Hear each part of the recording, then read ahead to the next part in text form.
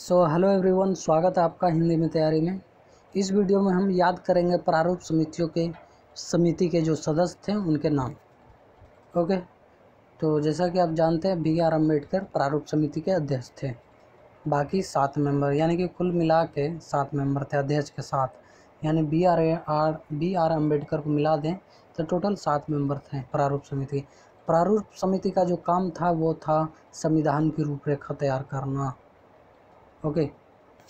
तो इनमें शामिल थे K Munshi, N Madhav Rao T T Krishnamachari, Syed Mohammad Saadulla Alladi Krishna Swami Iyer N Gopala Swami Iyer, Ayyangar.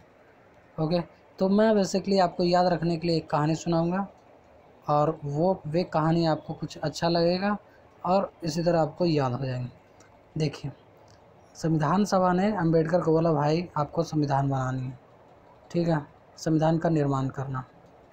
तो बोला, ठीक है भाई, बना दूँगा। तो हम इसको इस तरह से रिलेट कर सकते हैं कि हमें संविधान ना बना के हमें कृष्णा की मूर्ति बनानी है। किसकी? कृष्णा की मूर्ति। ठीक है तो क्यों मैं बोल रहा हूँ कृष्णा की मूर्ति? क्योंकि आप यहाँ पे ऐसे तीन नाम है, देखिए, एक, दो, तीन। ये तीनों नाम कृष्ण भगवान से जुड़े हुए हैं, ठीक है? यानी कि कृष्णाचार्य, टी टी कृष्णाचार्य कृष्णाचार्य अय्यर, गोपाल स्वामी अय्यर हम बोलते थे, कृष्णा को ही गोपाल बोलते हैं। गोपाल, कृष्णा। तो इसलिए मैंने बोला तो कृष्णा की मूर्ति बनानी है। तो अंबेडकर ने अपने मुंशी से कहा, ए मुंशी, जाओ एन माधव को राव राव के पास और बोलो कि मूर्ति बनानी है। तो मुंशी का नाम क्या था? के मुंशी। तो अपने के मुंशी को बोला कि जाओ एन माधव राव के पास उसको बोलो कि हमें मूर्तियाँ बनानी। तो भाई आप सोच रहे हो कि माधव राव को कैसे याद रखेंगे? तो माधव राव को ही क्यों? तो देखिए, माधव एक बहुत बड़ा कलाकार था, यानी कि उसकी एक विशेषता थी कि वे जब मूर्तियाँ बनाते थे तो उसमें कुछ ऐसा पेंट करता था कि चमकता था।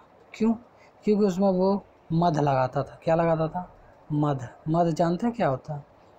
यानी कि मधुमक्खी के छत से जो निकलता है रस मीठा मीठा वो मध है।